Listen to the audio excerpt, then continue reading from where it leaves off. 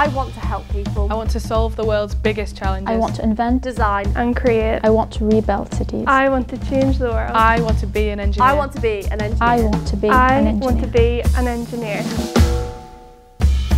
Juliette McCoy. Global Chief Engineer at Ford. Graduated with a degree in engineering. Mae Jemison. Engineer and NASA astronaut. First African American woman to travel into space. Graduated with a degree in engineering. Mary Barra. Jessica McKellar. Ginni Rometty. Current Chair, President and CEO of IBM. Graduated with a degree Graduated in engineering. with a degree Graduated in engineering. with a Graduated degree in with a degree in engineering.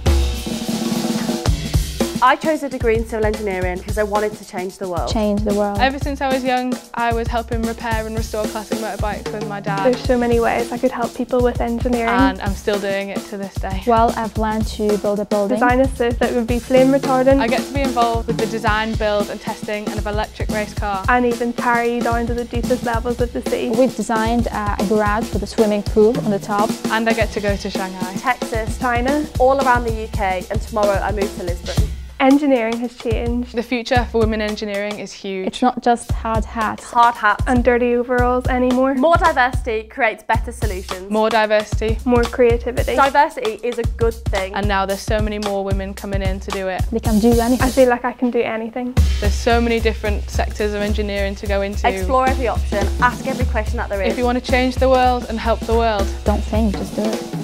We are helping people we are solving the world's biggest challenges. We are inventing. Designing, and creating. We are rebuilding cities. We are changing the world. we are engineers.